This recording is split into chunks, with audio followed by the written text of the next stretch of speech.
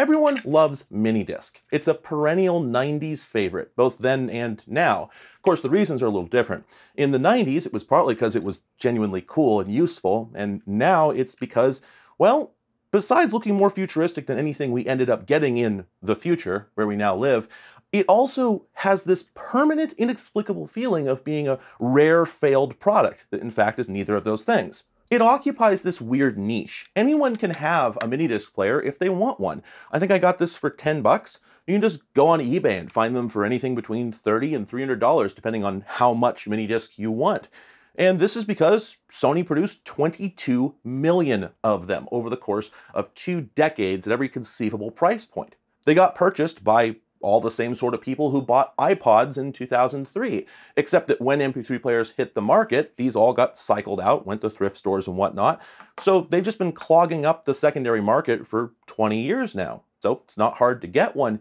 And yet, everyone who owns one, myself included, feels like they have some sort of rare artifact. There is this energy to them, which I would describe as having the failed product nature. Minidisc feels like a Sony format, developed at extreme cost, way ahead of its time, dumped on a market that didn't actually ask for it, not allowed to be manufactured by anybody but Sony, and encumbered with limitations in DRM that refused to concede anything to the public's wants or needs. And it's several of those things, but actually not most of them, because it was made by all sorts of companies and was incredibly successful. It's not like, say, WVHS, where you have to spend years looking for a working player and then more years looking for working media. They're thick on the ground. You can just have a mini disc player if you want one. It's in Sony's nature, however, to make products that are very cool, but also super weird or way too expensive. So they couldn't resist making a mini disc that was a failure. And so we got MD Data. MD Data came out in about 1993. Now, compared to the original MD, which was intended only for audio and had a capacity rated in minutes, this one is actually rated in megabytes because it's intended to be used as a general purpose data storage medium. Sony probably imagined this replacing the floppy or magneto-optical drive in people's PCs. Magneto-optical was a format introduced in the mid-80s, which was sort of like CDRW, but a lot wackier where CDRW uses a dye which changes opacity when it's heated up by a laser, the magneto-optical disc actually uses a combination of a laser and a magnetic head to read and write data. It's, it's super funky. Maybe I'll do a whole video on it someday. MO offered exceptional storage capacity and flexibility compared to any other technology available before the 2000s. However, I don't think it really had any consumer uptake, at least not here. It did enjoy some success in commercial applications, and who knows, maybe it was big in Japan. I haven't looked into why this is because this video isn't about magneto-optical. I mention all this because Minidisc itself is also a magneto-optical format. My understanding is it's pretty much the same technology, just shrunk down. I would guess that Sony had hoped MD Data would allow them to take the MO format, which had been successful in the commercial sector, and finally find a way to sell it to the consumer market. Well, despite the success of audio minidisc, MD Data didn't take off. As usual, Sony spent years improving its capacity and capabilities, while it remained virtually impossible to find anything you could actually put it in. While the pro market got some digital photo recorders and a couple of audio workstations, in the consumer market they put out a couple of drives for use in a PC, a couple of like early ebook readers, and virtually nothing else. Now, my interest always tends towards the photographic, and there were, in fact, a couple of MD Data cameras. Sony put out the DSC MD1 in 1997, and in fact, earlier that year, Sharp put out their own MD PS1. Both of these were pretty basic digital cameras that could take still photos, record audio, or play ordinary audio mini discs. Of course, I would love to have these to review, but realistically, they probably don't do anything spectacular. The specs say they only shoot 640 by 480, and in 1999, that was already looking kind of ridiculous.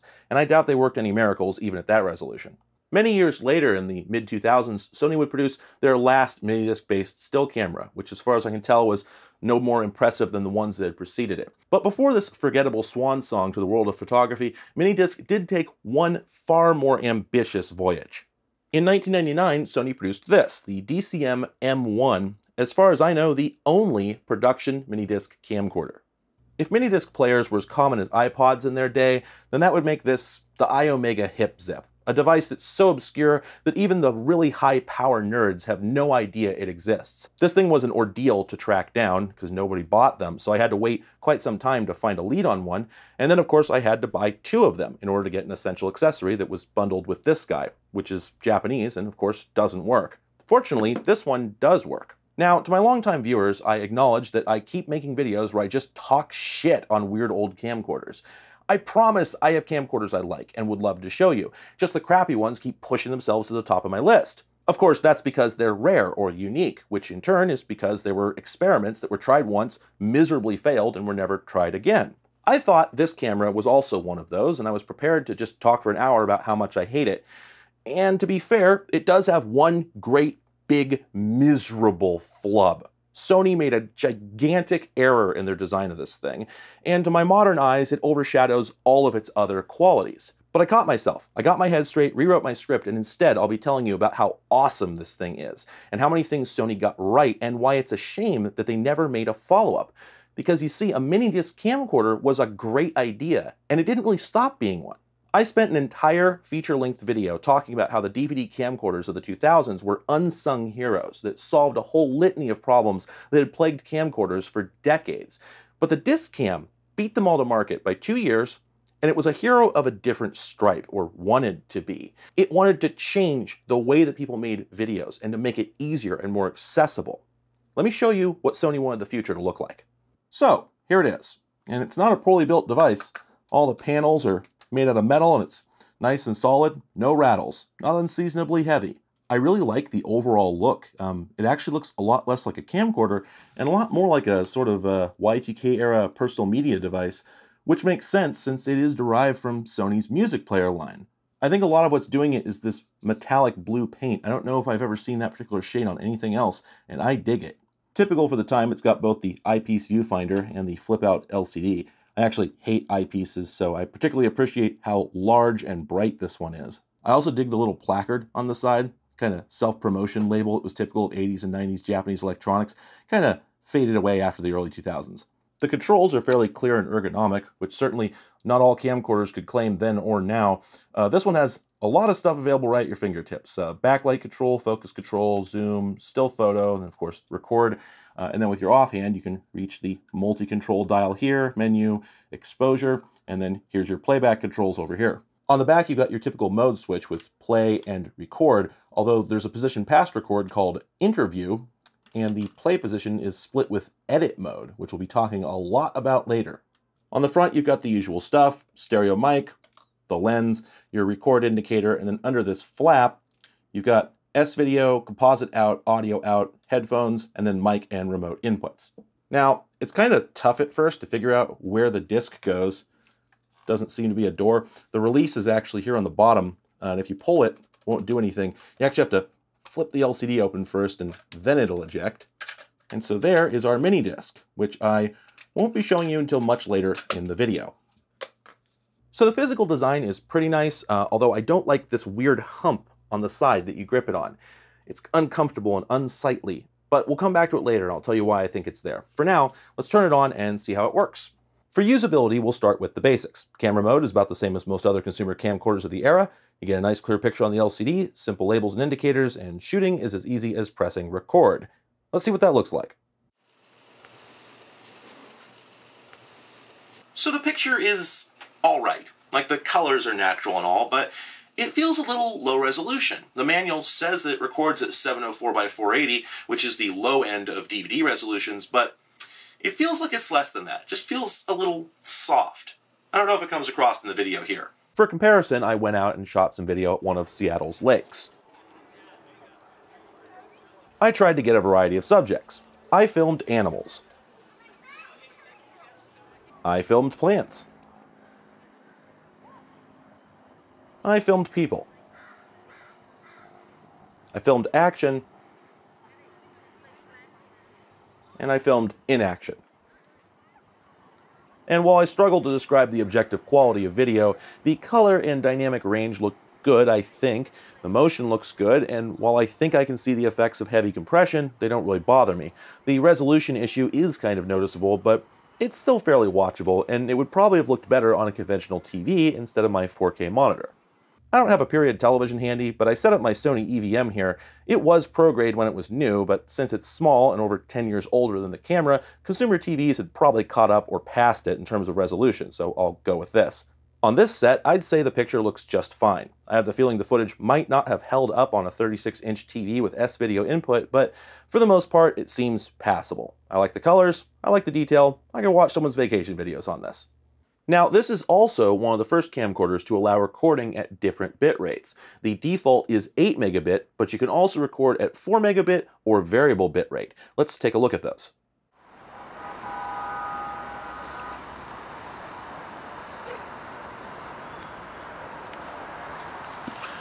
Here we are shooting in the 8 megabit mode with the uh, foliage back here to really challenge the compression.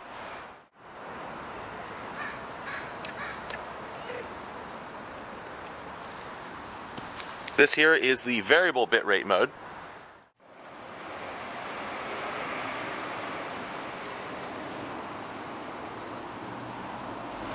And this is the 4 megabit mode. I'm not great at this kind of comparison. I feel like I don't see a huge difference between these.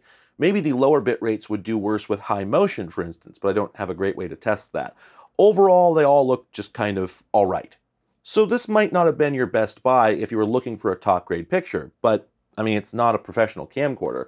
The manual has pictures of moms and golf swings, so I don't think they were aiming for the broadcast industry here. Overall, the shooting features are not atypical for the era. You press the focus button and rotate the ring on the lens to manually focus. You adjust the exposure by pressing the button and then rotating the thumb wheel, that sort of thing. In the menu are a number of other typical settings like image stabilization, high-speed shutter, digital zoom, white balance, etc. But a noticeably missing feature is digital effects. There's no sepia tone, no black and white, no mosaic. I'll explain why that is later. A feature that wasn't all that common, I think, was the self-timer mode, which waits 10 seconds before it starts recording, and then records for, by default, 10 more seconds, and then stops automatically. So you can take a clean video selfie. It's a pretty neat feature. The next feature, which I'm almost certain was unique, is the picture-in-picture, which shows you the last frame of the last video or picture that you took in the corner while you're shooting. This is interesting because I can see how this would be appealing to professionals, so you can carefully match up one shot with another one. But to a casual user, I'm not so sure what you would use it for. It's also interesting that the manual doesn't mention it at all, so I have to figure it was probably added late in production. I think it's just a flex, really. While this could have partially been done on a videotape-based camcorder, it's a lot easier to do on a random access medium, so I think Sony might have just been showing up the rest of the industry. As with basically all camcorders of this era, you can also take still photos. Now, since it's not tape-based, it actually saves them as JPEGs, which is cool, but they're only 640 by 480, which I think kind of sucked even in 1999. The final recording option is interview mode, which I don't really think deserves its own position on the selector. This could have just been a button. It allows you to record up to 4 hours and 20 minutes, nice, that's the weed number, of audio along with up to 3 photos that'll be displayed while the audio is being played back. So that's pretty much all the recording features. Now, so far, none of this is really that shocking, but I mean, this is the recording process. What really can you add to it? Generally speaking, you press record and, and that's about it. However, with most camcorders, the playback process is also pretty boring, and that is where the Discam sets itself apart. Most of its features are in the play slash edit mode, with emphasis on edit.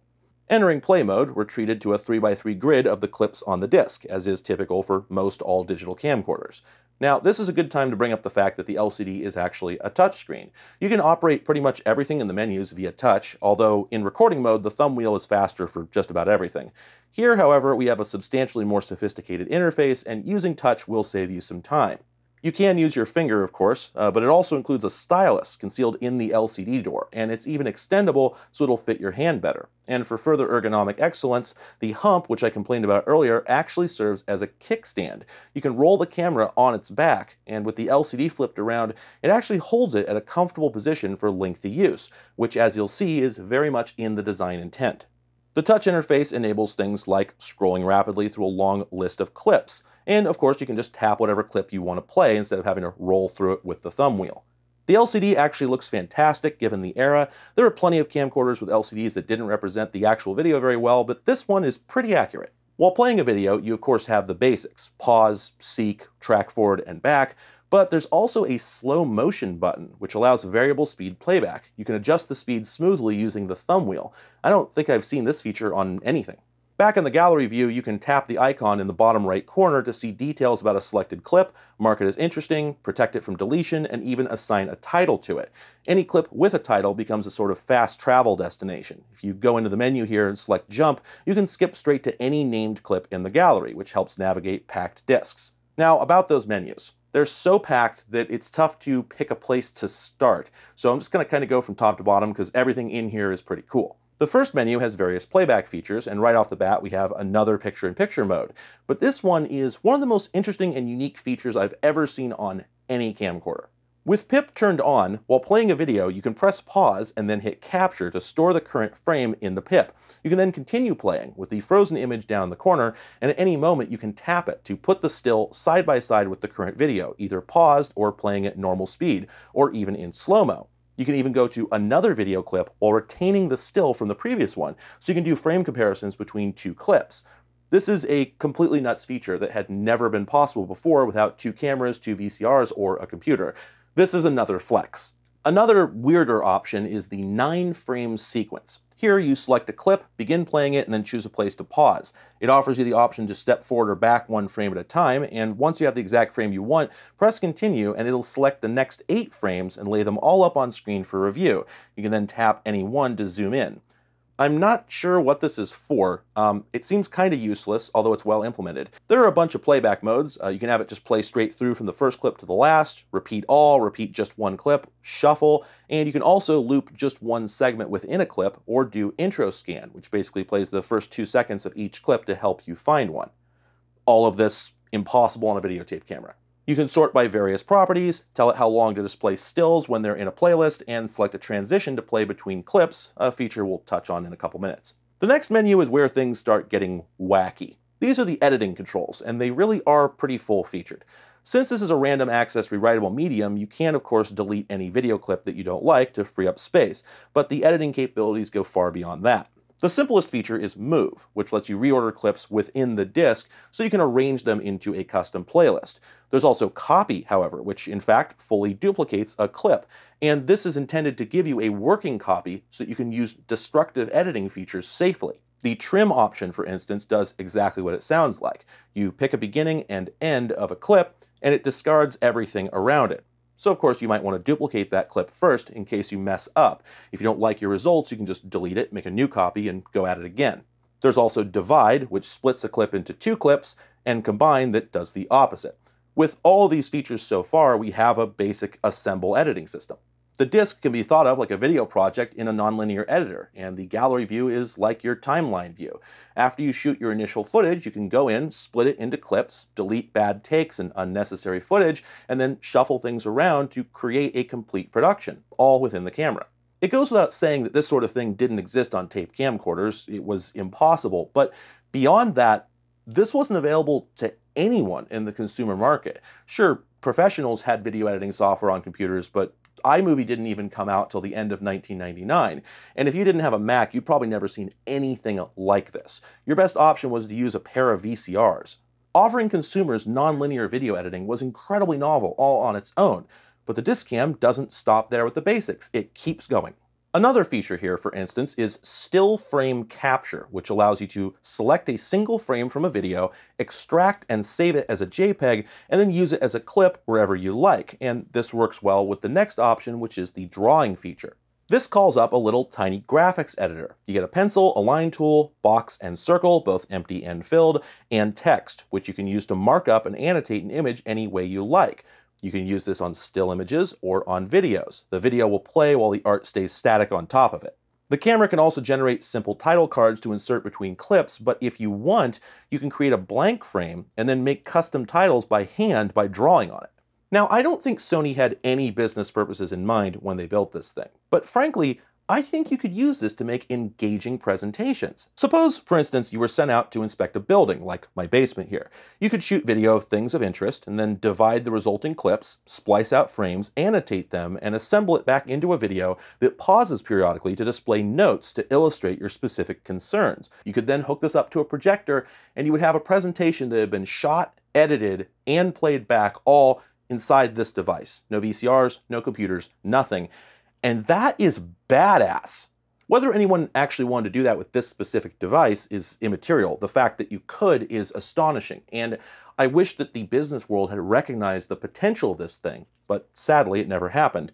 And I don't really think that's what Sony intended here anyway. Certainly, there are lots of consumer-focused features in this camera, like the stamp tool, which contains a whole bunch of very domestic prefab graphics. Happy birthday, thumbs up, that sort of thing. There's also the scene transition feature, which lets you add custom transitions between each clip. This is actually far more involved than it had to be. The option I pointed out earlier lets you set a crossfade to be used between all clips during playback, and they could have just stopped there, but instead they added the ability to put custom transitions at the beginning and end of every clip. There's a lot of transitions, and among them are some wipes, which even let you select which direction you want them to wipe. There were camcorders before this that offered wipe effects, but they just went in one direction and called it good because it's a silly little gimmick feature. If you wanted customizable transitions, you would have actually paid a video editor to use real equipment. If you ask me, this is Sony's engineers going way past the sale. They didn't need to do this, but they did anyway.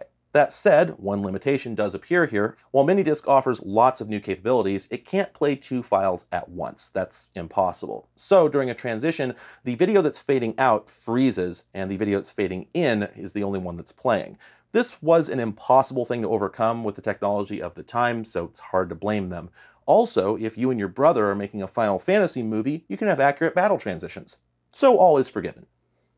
The last features in here are the picture effects, because of course, a camera from 1999 had to have silly sepia and black and white and mosaic filters. However, they're here instead of in the recording mode because you don't actually apply them to the footage. They're a post-processing effect that's added non-destructively. You can select a clip, tell it that it's sepia tone, play it back, and then if you don't like that effect, you can go back and remove it because it's being applied on the fly during playback. They're not actually modifying the footage. This is true for the drawing mode as well. You can delete everything you've scribbled on an image or clip at any time. So again, Sony just went way past the sale here. Non-destructive editing is something that every professional expects in their tools, but most consumers wouldn't even know what it meant, I think. This is the right way to do it, and of course, I wish everything worked this way, but it's both normal and much cheaper to just do it in a lazier, destructive way if you even provide any editing features at all. And this camera is full of that. It's got all these features that feel overwrought for the intended audience. For instance, when you're scrolling through the gallery, the thumbnails that appear aren't being generated from videos on the fly like most devices. They're actually stored in a database on the disk and they can be replaced. You can select Index Image Change, pause on a desired frame from a video, and then save that frame as a new thumbnail. What has that feature? Our operating systems don't have that feature. I don't think my video editor has that feature. You can also group clips together to make them behave like a single clip, but without actually combining them, so you can ungroup them later. This is very neat, and it's something I expect from a video editor, but who needs that for organizing their home movies? Usually, if you want to find a clip, you just press fast forward until you find the clip. The stakes aren't super high. Who is spending so much time watching their home movies that they actually need the sort of organizational tools that professionals expect? Now, I do have one theory, it's a weak one, but it's possible that these tools were included because Sony anticipated that people would have a lot of discs with a lot of small clips on them. And to explain that supposition, I'm going to have to start getting into the problems. This camera is unquestionably very cool. However, it was also ahead of its time, of course. What do I ever talk about? 1999 was too early to be doing several of the things Sony was trying to achieve here, and it shows that in several specific and very unpleasant ways. Let's segue back to this in order to get where we're going. The quality of the video is not that hot. I think a contemporary DV camera would probably look a lot better in these same conditions. Now, those do shoot at 25 megabits, while this only shoots at 8. However, this uses MPEG-2, which I believe is a more efficient codec, and also 8 is very close to DVD, which is at about 10. Now it's possible that, like the Hitachi MPEG cam, this just isn't putting that much effort into encoding those 8 megabits, or it's possible those extra 2 megabits really make a difference. But the reason that it's 8 megabits instead of 10 is probably because of the capacity of the disks. MD data first came out in about 1993, probably earlier in Japan, and I strongly suspect that Sony just took the original mini disc and put megabytes on it instead of minutes. The storage on those things was not amazing. About 140 megs, which was very cool in 93, but by 99 wasn't very much. Uh, fortunately, however, this camera does not use MD data. I lied to you. You know how I pulled the disc out earlier but refused to show it to you? That's because you've definitely never seen this format before. MD Data 2, also known as MD View. This was a development of MD Data which bumped the capacity up considerably, all the way to 650 megs, the capacity of a full-size CD. Very impressive given its size. 650 megs. How much video can you fit in that? Well, one way to say it is not enough, but another way is 10 minutes. Maybe if you were shooting video the way people did with like old film home movie cameras, where you just hold the button long enough to get one little event, uh, your kid blowing out the birthday candles or whatever, and then you let go and it stops recording, maybe you could get a decent amount of interesting footage on this thing. And it actually has an option to record like that. But in any other circumstances, it wasn't going to happen. This was the worst runtime of any new video format in history. Mini DVD did better. The MPEG cam did better. Every videotape format in history did better. You have to go all the way back to film cameras to find a runtime this poor. Now, of course, there were the lower bitrate modes. You could record in variable or 4 megabit, and that would get you up to 22 minutes, which still isn't good enough. So if you wanted to use this as your primary camcorder, you were going to have to own a lot of mini discs. And not just these ones, but MD View mini discs. Now, a contemporary magazine says that these were supposed to cost about $14.95, which in modern dollars is around 25 bucks, which doesn't sound so bad, but if you think about it, to get an hour of recording media, you would need to spend $150. That stings. For comparison, uh, tape was so cheap at this point that magazines didn't bother listing the prices anymore. But if you go back to like 1993, a Hi8 tape that could get you two hours of excellent quality video was $8. So that's what this was up against. If they'd been able to get the density up to at least a gigabyte, then maybe at the lower bit rates at least, this could have stored at least a half hour of video. And while that sucks for 1999, it may have been enough to save the product. Unfortunately, Minidisc didn't reach the one gigabyte mile marker until 2004 with the Hi-MD format, at which point the market for this was probably long gone. But hey, it's digital, so that makes it all okay, right? I mean, this is 1999. It's the era of the internet, of email, of easy digital distribution and editing of video. So the real meaning of Christmas here was just to take these home and load them into iMovie. Who cared how much you could fit on them? You were just going to dump it all onto your hard drive anyway, right? This face should prepare you for disappointment.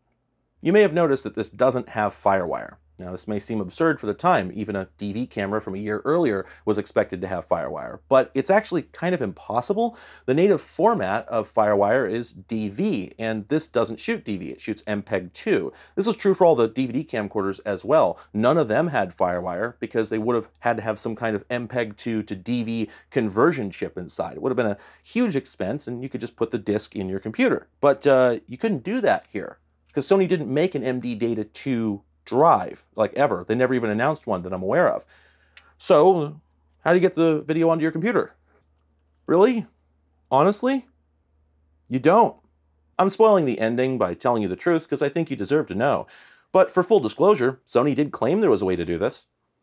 I'm going to have to ask you to roll with me for this next sentence because the words don't chain together in a way that fits with our perceived reality.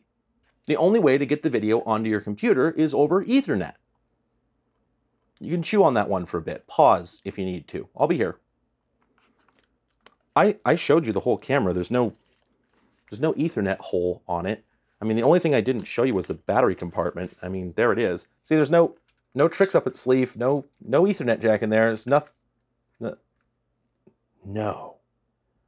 No, they didn't. Oh yes, they did. As with most camcorders of this era, if you want to run it off wall power, you need the battery simulacrum. This is a battery-shaped plastic thing with a cord coming out of it, which you shove into the battery compartment. It's got a little door here so the cable can come out, and then it can run off of wall power. However, it doesn't just provide power, it also provides Ethernet. The little plastic door in there slides back so that these pins can connect the RJ45 through to the camera.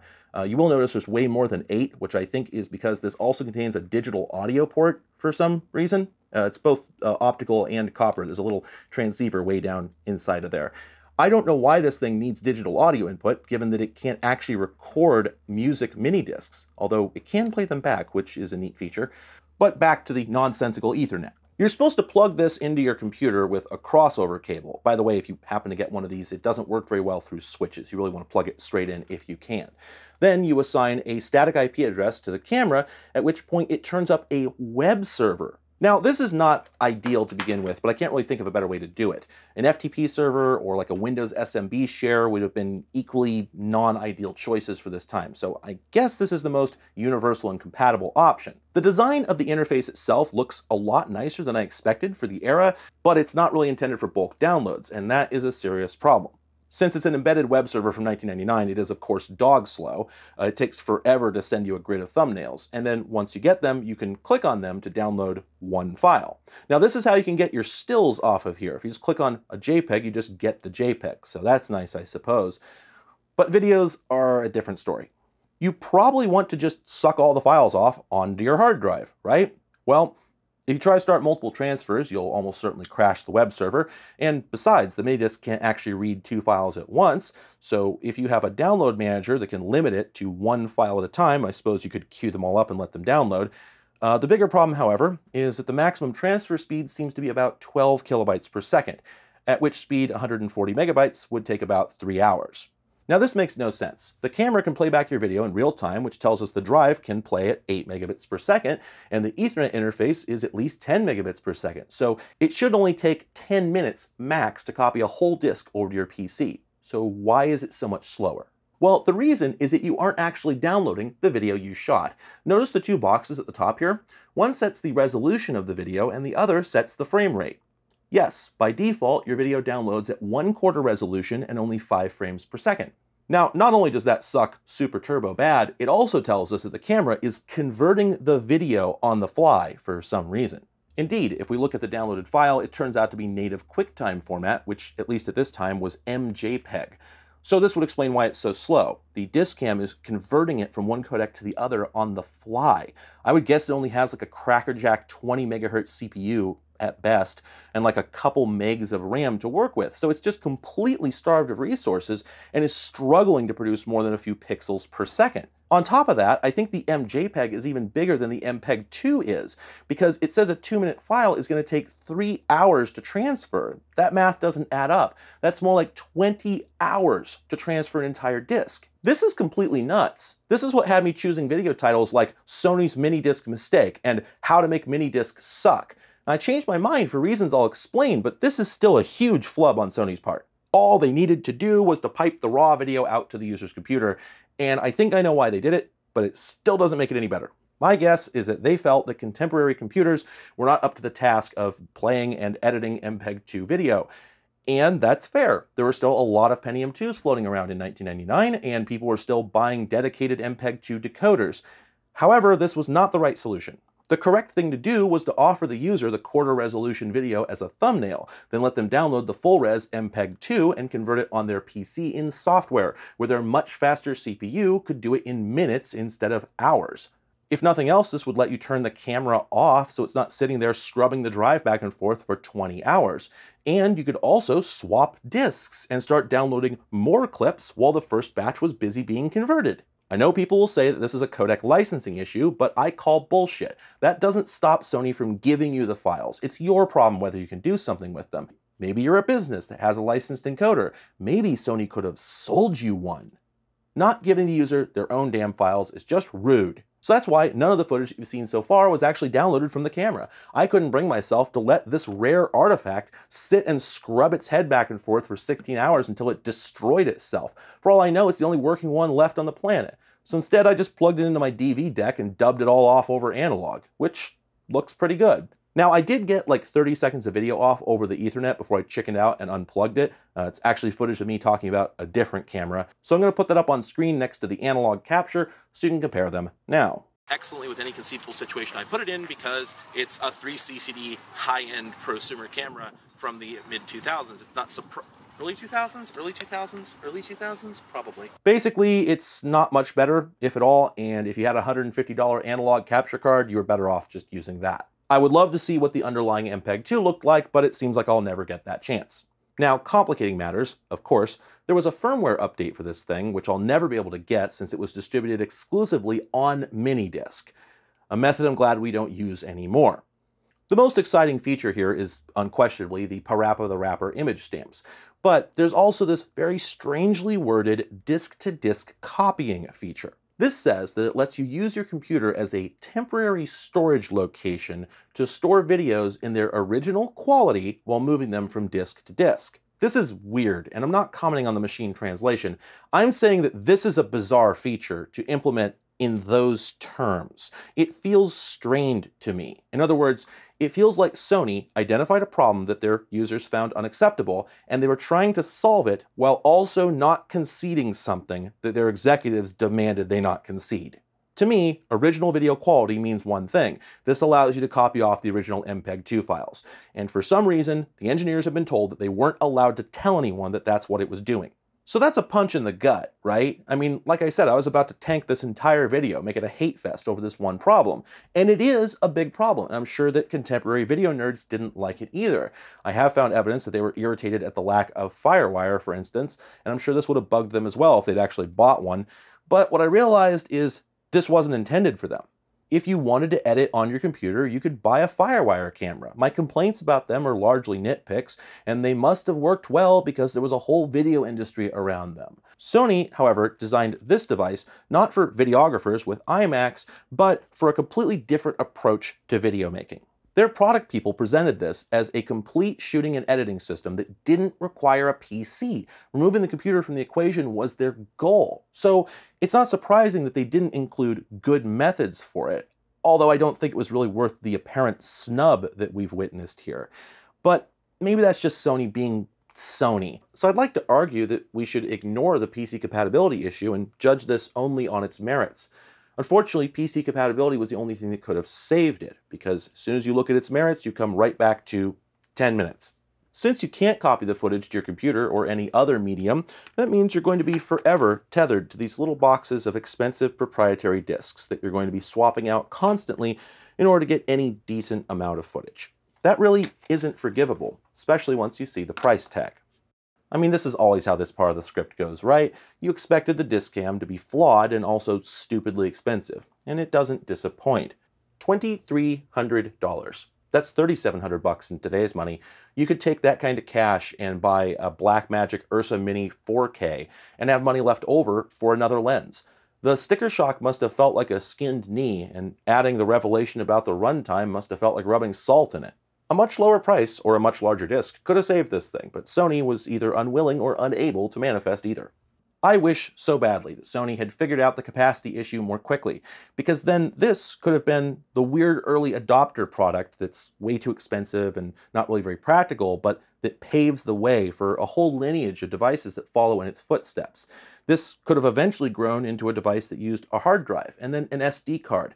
And maybe all modern camcorders would offer a fleet of mobile editing features like this. We can't imagine what would have happened if that had been the future we got. But because Sony screwed this up, all modern camcorders are probably based on the Hitachi DVD cameras, which don't offer anything nearly this sophisticated, really through no fault of their own. The DVD format is just not suited to the kind of shenanigans that Sony was getting up to here. So for the next five to eight years, nobody had an opportunity to try again. So by the time tiny hard drives and flash memory became affordable for camcorder use, this little experiment had been long forgotten. That's it. Pour one out for the last interesting camera.